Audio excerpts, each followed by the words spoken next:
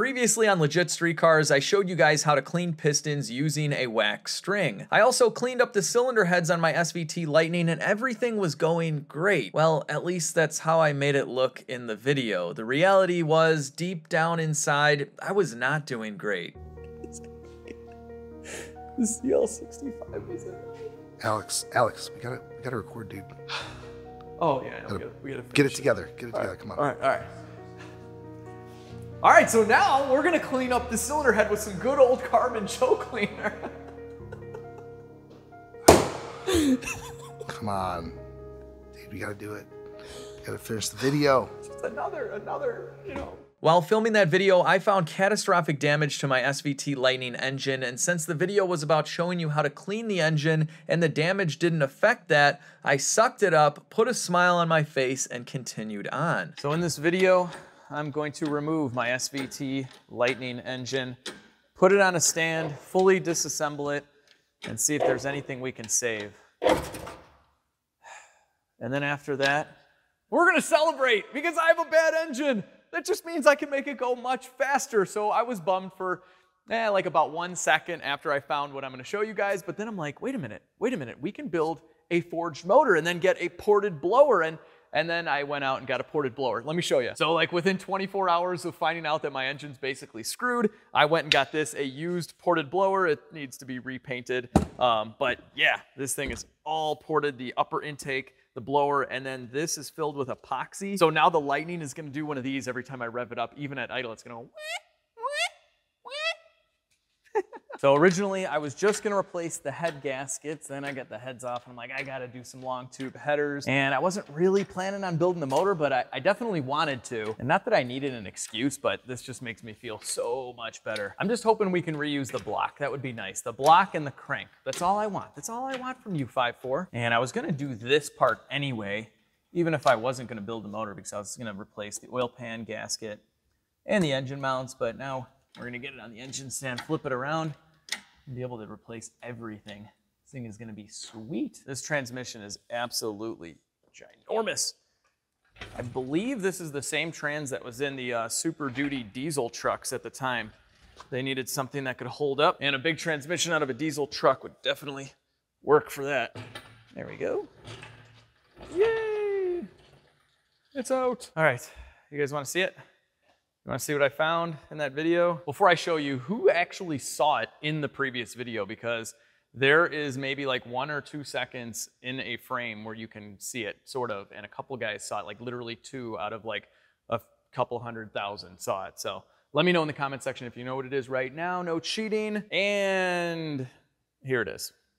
Here is the issue with my engine. Right there, we're missing something right right? There's a little void. It's it's larger than the rest. That is the piston. The piston has come apart. You can actually see the ring in there that's kind of mangled as well. So we're going to get a much better look at this carnage once we pop this piston out here in a few minutes. But the cylinder wall may have been damaged a little bit and i think it can be honed and bored out and fixed but we won't know until we kind of disassemble like everything and just get a really good look at it. Another reason why i want to just rebuild this engine anyway is there is a decent amount of cylinder scoring here as you can see.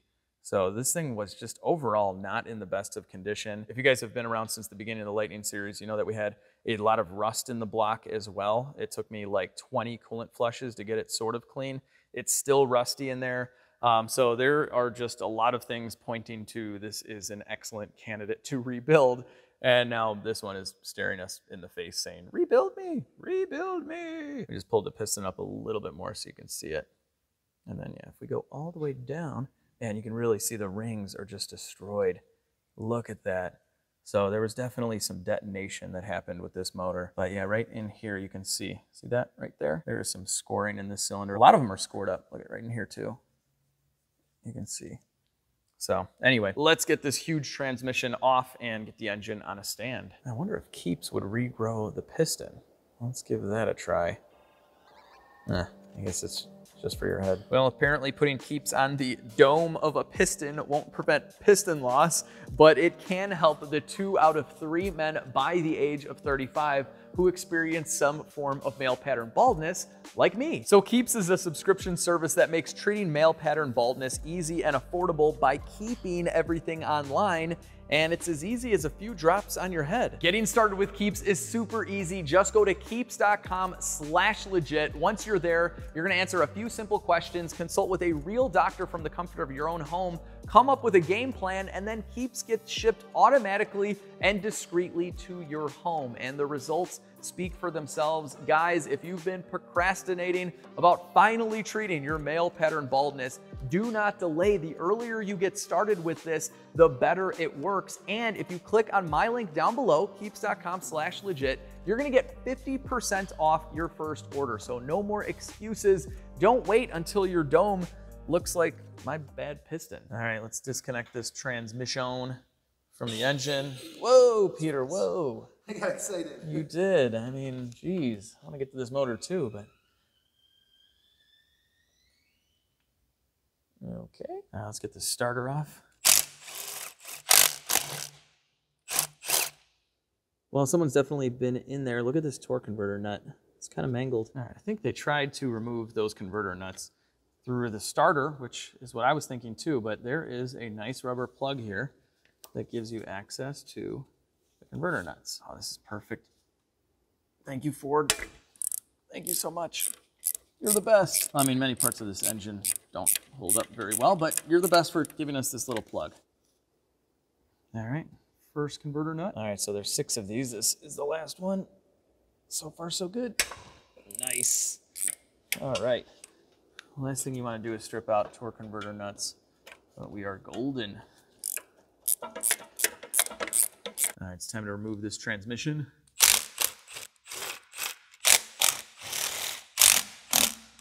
All right, separate. There we go.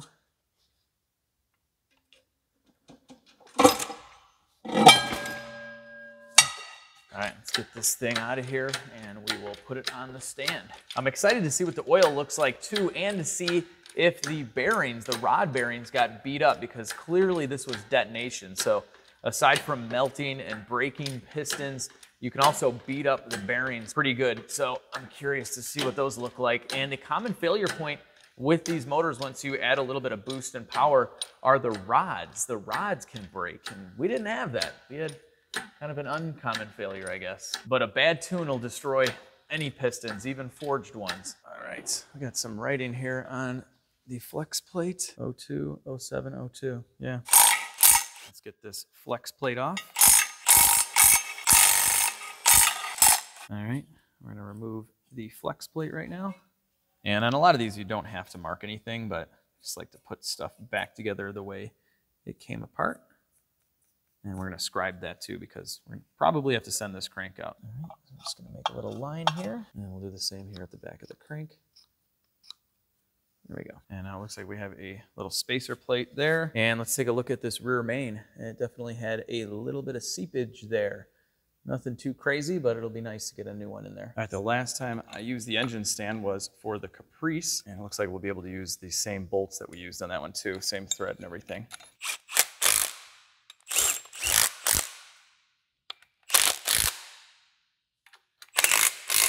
All right, so you gotta be smarter than the stand. Always bring the stand up to the engine.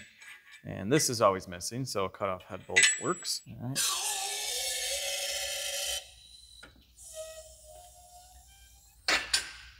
She's landed. Excellent. Our first Ford motor on a stand here at Legit Street Cars. Something tells me this, this won't be the last. So I just used old head bolts to lift our engine out in the front. So we're gonna be putting studs in this motor. So these head bolts we can use for a tool to lift the engine out. Supposed to replace these anyway, so they're garbage. These self-levelers are really nice. I highly recommend them. You can move it around so that your engine is flat, especially when you're taking it out with the trans. You can move it all the way to one end and then the trans will come out sort of even. It's still gonna drag it down a little bit, but these are really nice.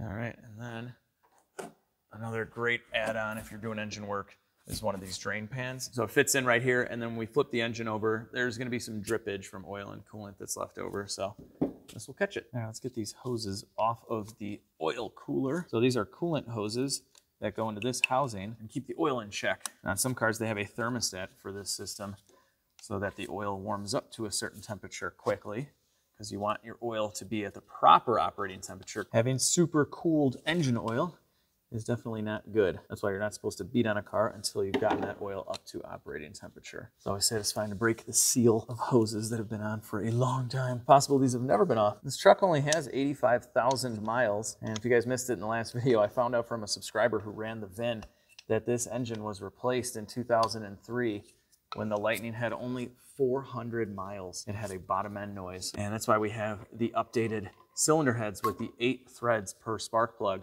um, they had an issue with the four threads where they would pop spark plugs out. All right, we're gonna flip this engine over, and at this point, you're gonna see why this drain pan is so nice. Ooh, look at that nasty coolant.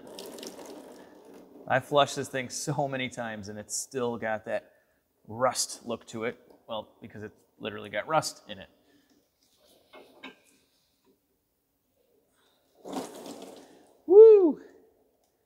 There we go. All right, so next up, we're gonna remove the engine mounts, which look to be in really good shape. So all of this is just kind of flaking off, but there's nothing wrong with the actual rubber. So these solid rubber mounts can last like the lifetime of the vehicle. In some cases, it's the hydraulic filled mounts that usually have issues. So easy with the engine out. So I don't know if I'm gonna do poly engine mounts or not. I'm really not a big fan of transferring a bunch of vibration into the cab. But let me know in the comment section if you guys have one of these Ford truck engines with the poly mounts. Is it worth it? Is it too shaky inside? I don't know. I got them on the Turbo Trans Am and they're not that bad, but I don't think we need to replace them because of deficiencies in strength. These are gonna hold up fine. So I'm stripping this down to a bare block because we have to send it out. Just hoping it can be reused. I'm sure it can be.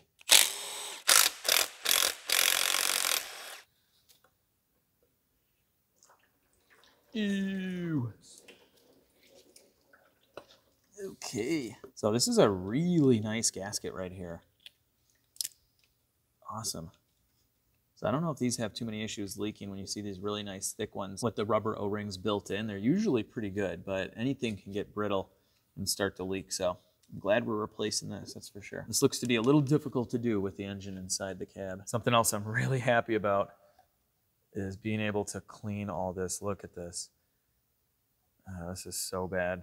I don't know if we would have ever been able to flush this out. All right, guys, it's oil pan time right now. So we're getting closer to pulling these rods and pistons out. Getting closer to some more carnage. I'm really excited to see what the rings look like because they, they look melted. And although this carnage is gonna cost me a little bit, it's still fun to see, all right? I've already accepted it, it's bad.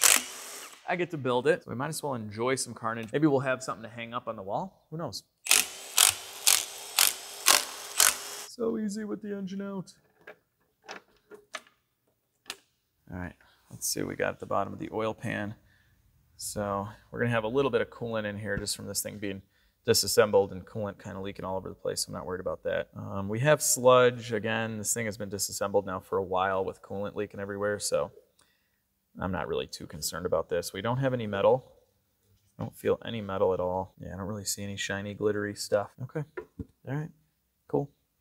Not bad. Oh, and I got to mention the massive sale on Sonic Tools real quick because it ends in a few days. But they're having a blowout Father's Day sale up to 30% off.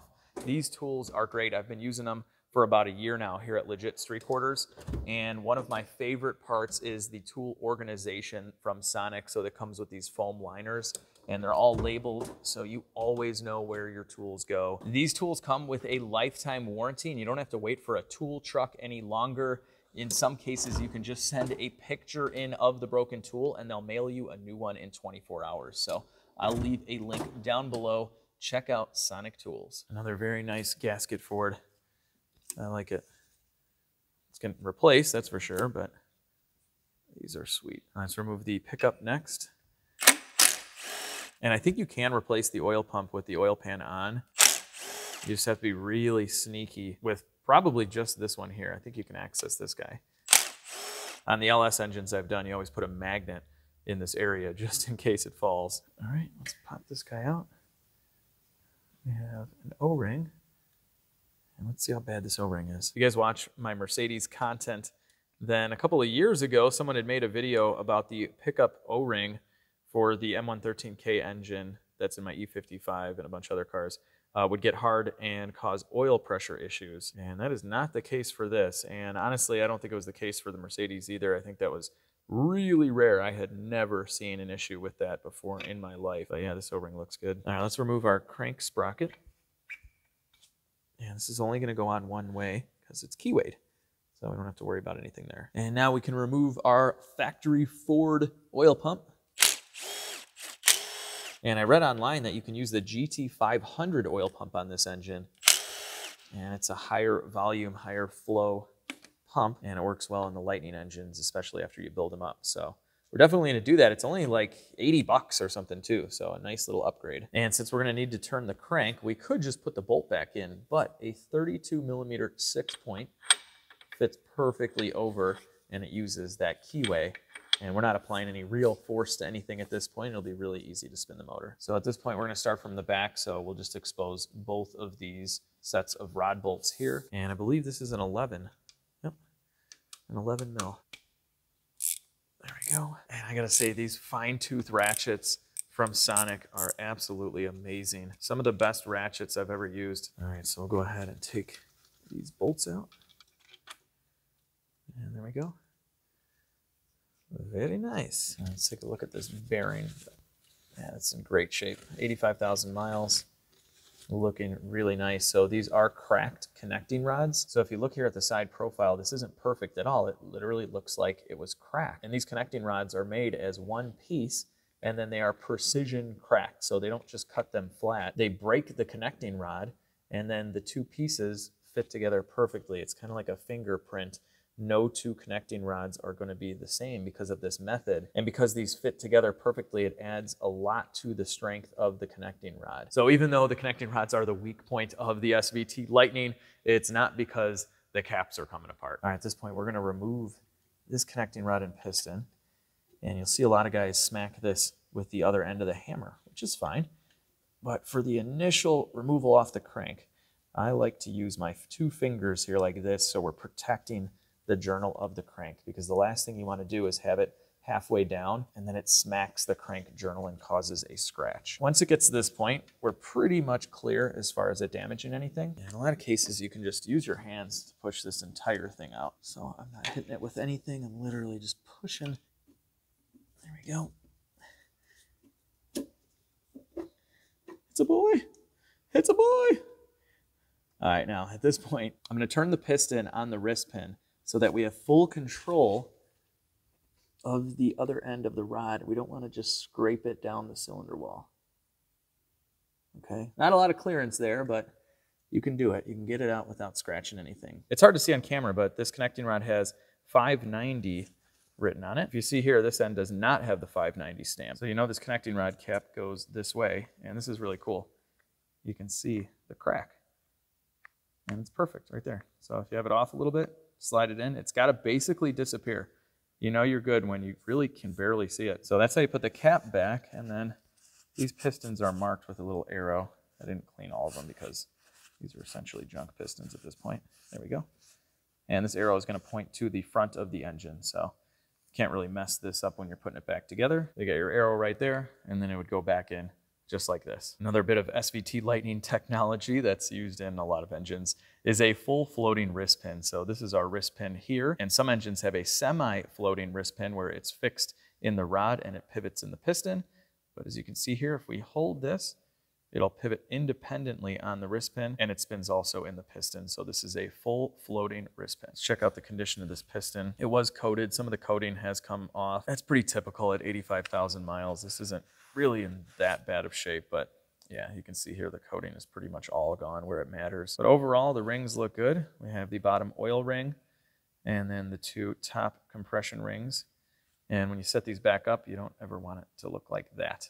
These have to be opposite of each other. All right, let's get through these rods and pistons. We only have a couple left to go before we get to our suspect. And by suspect, I mean completely destroyed and melted piston. Another perfectly good bearing. So just remember, when you're pushing this down, you can use two hands, you can use two fingers, get it past the crank. That's the most important part. Oh wow, look at this. We found another messed up piston. Ooh, that is chewed up. Wow, I didn't see that from the top. This piston is not good. So this one was about to blow out the ringland. So typically when you have detonation, you blow out the ringland, which is this part of the piston all the way around here. And then it just exposes this top compression ring. And this was getting eaten alive. Look at this. This is just rough, like 80 grit sandpaper. It's literally got chunks coming out. Engine carnage. I love it. I love it. You're getting replaced, little buddy. That's right. All right, let's just take a look at the crank journal here. And it's looking really nice. Can't feel anything which is expected after taking a look at those bearings. So, so far so good. I mean, we definitely had a little bit of detonation or something going on with that rod and it didn't beat the crank up at all. I like that. All right, so I'm just gonna bring the next two up here to the top. I thought we were only gonna get one piston with carnage, but apparently not. We could have a lot of carnage on everything. Let's just hope the block is okay. Although I think I'm gonna get it bored probably like 10 over anyway, so it'd have to be a pretty deep scratch to condemn this block but not 100% sure. Let me know in the comments, guys. But is the SVT Lightning engine the same block as all of the other trucks that this engine came in? I think they just added a forged crank to the Lightning. Um, and then different pistons for compression ratio reasons, maybe slightly stronger rods, I'm not really sure. Um, but the block could be the same. All right, so this bearing stayed with the crank. No biggie. Are we gonna have more piston carnage? Hello, little guy. Hey, I think we got a good piston. Good job, little buddy. You survived. Yeah, a lot less wear on the skirts, too. Look at that. The coating is still intact. Well, at least on that side. Yeah, there's definitely a decent amount of wear here going on. But uh, this one survived the bad tune or bad fuel or whatever was going on with this motor. Good job, piston. And if you're ever wondering if you put the wrong rod cap on, it might look something like this. If you see this, that's bad. But if you see this, where it completely disappears, that's good. I think we're only a rod or two away from the really bad one. Oh, this one's rough too. It's amazing how well this motor ran. So I drove it, I think four or 5,000 miles with the semi-bad head gasket that would only show its symptoms if you got into boost. It would pressurize the cooling system and blow coolant all over the place. But other than that, it would never overheat. You could drive it from here to California, no issues whatsoever. This thing didn't blow any smoke. It didn't use any oil. And I'm sure the pistons have been bad for a really long time. I mean, a lot of them. This is really rough around the edges. It's just crazy. You would never, you would never know.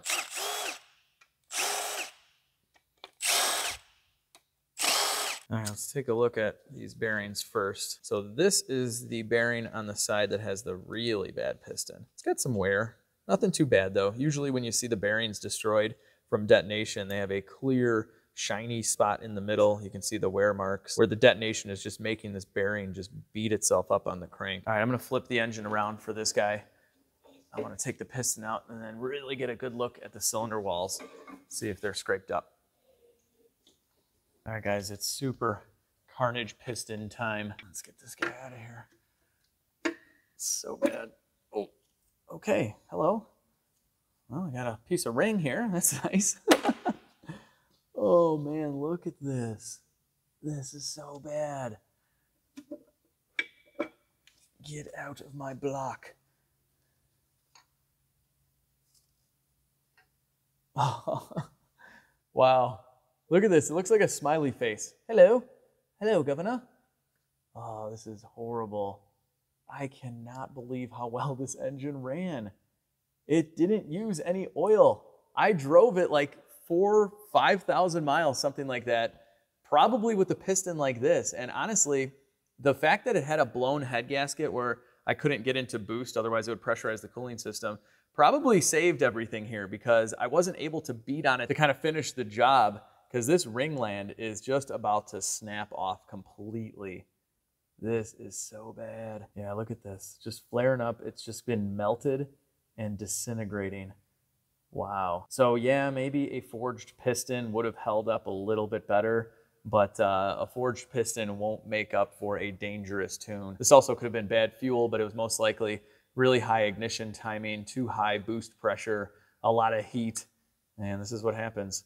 So these have the water to air intercooler systems and the pump can fail on those as well. And I'm not sure exactly how good Ford's safety features in the ECU are, I'm sure it dumps all the timing when it sees intake air temperatures get really high, but sometimes that's too late. But I just took this ring off here. And uh, yeah, this is a really bad piston. So anyway, let's, uh, let's take a look at the most important part, which is the cylinder. All right, here we go. Let's give it a little wipe. And yeah, you can see, you can definitely see some scoring in there, especially towards the bottom. Okay, so the top isn't too bad, but yeah, there you go. So I think that piston could have done a lot more damage than this. This really isn't bad at all, and it'll definitely go away once it gets bored. But yeah, I can definitely feel a little bit of scuff in here. So what happens when you get into boost and continue to detonate when your piston already looks like this is it starts to look like this. this is out of my turbo Trans Am. We definitely had a bad tune, and I went to the track when it was like 100 degrees out. 93 octane pump gas, not the best tune. Hot day. And yeah, but I did drive it home with this piston, with this hole. I drove it 100 miles home. I just had to fill it up with about two quarts of extra oil on the way home. But on the highway, it was kind of funny. Once the torque converter locked up, I mean, it's still running on seven cylinders. It was smooth. It was smooth as glass. And we were going so fast, you couldn't even see any smoke coming out of the tailpipe. So there were a few times where I kind of like tricked myself into thinking the engine was okay because I didn't know this had happened. I knew something bad happened. Um, and I assumed this happened. But there were a few times I was just cruising and I'm like, we're okay. This thing's going to be fine. And then I'd come to a light and be shaking and blowing smoke everywhere. But anyway, that wasn't the case for the Lightning, though. Go forward. Out. There we go. This one's just super dirty. I didn't clean this, obviously. But yeah, pretty good shape.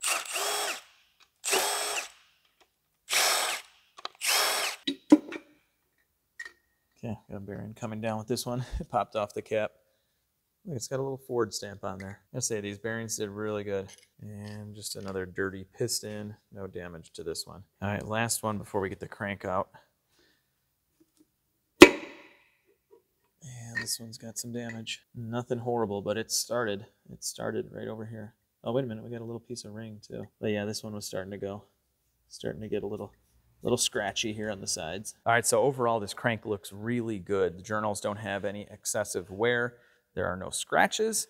So I think we're good to reuse the crank and the block, but I am gonna separate the two. We're gonna remove this crank right now, send it to the machine shop to be polished, and I'll try and get footage of that for you guys. And we're gonna send the block out to be cleaned and also bored out to fix any of the scuffing and scratches in the cylinders. And then we're definitely going to paint this as well and make it look nice and pretty.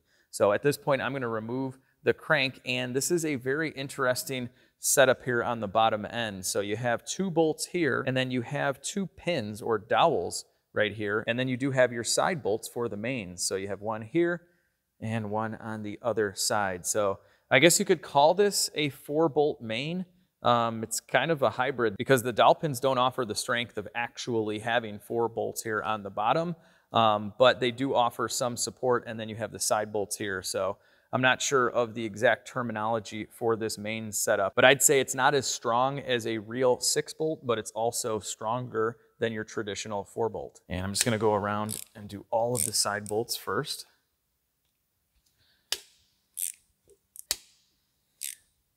I gotta say that first crack, very satisfying. And we'll go ahead and zip these out all the way.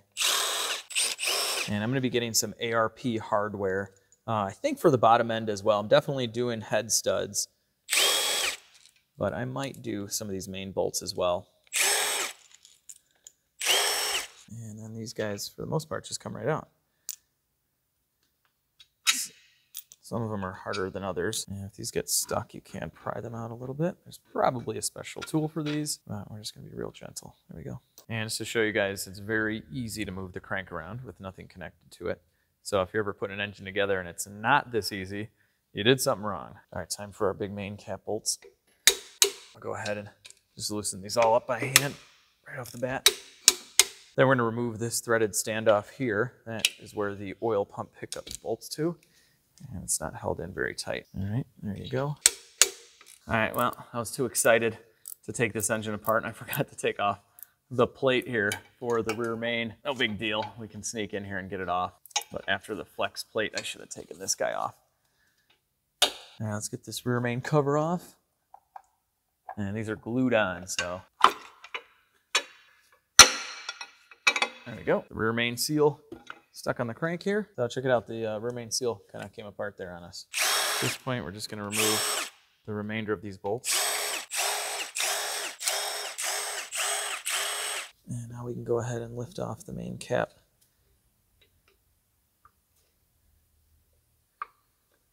There we go. Excellent. Awesome bearings. These look great. And you can see here that these are labeled number one and number two and so on.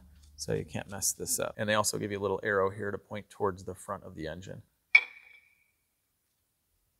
Yeah, a little bit of wear on this guy. Nothing too crazy. All right, last main cap. And we got number five coming out. And this should have a three-piece thrust bearing. So you can see this part of the thrust bearing here. And then on the other side, there isn't anything. It just rides right inside of this groove on the crank. And then you can see here we have the other half of the thrust bearing. And there's one over here too.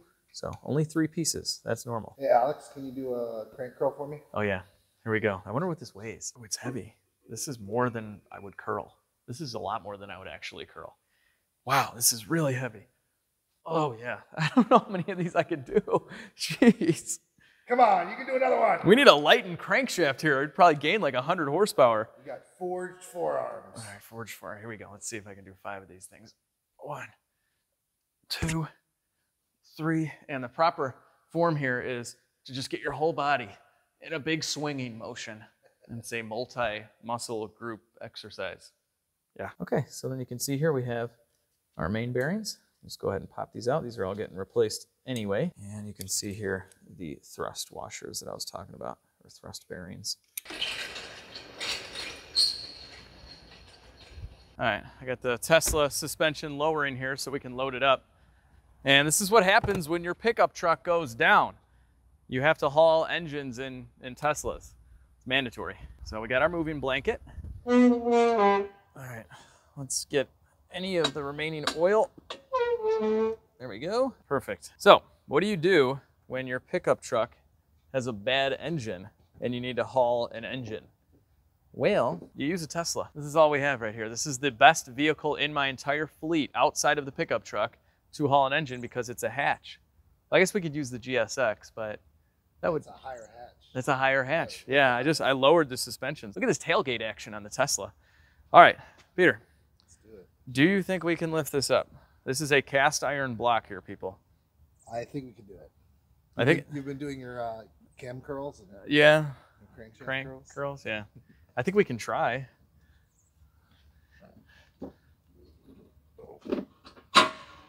Oh my god, this is light.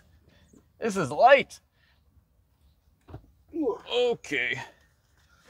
Totally normal. Rich rebuilds. Eat your heart out, buddy.